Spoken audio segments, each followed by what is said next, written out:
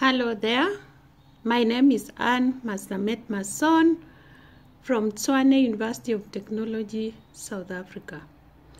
On the 4th of December 2020, I'll be presenting a paper that discusses on design collaboration. It is a design collaboration between apprentice designers and design entrepreneurs. Please visit us on Creative Business Network. See you there.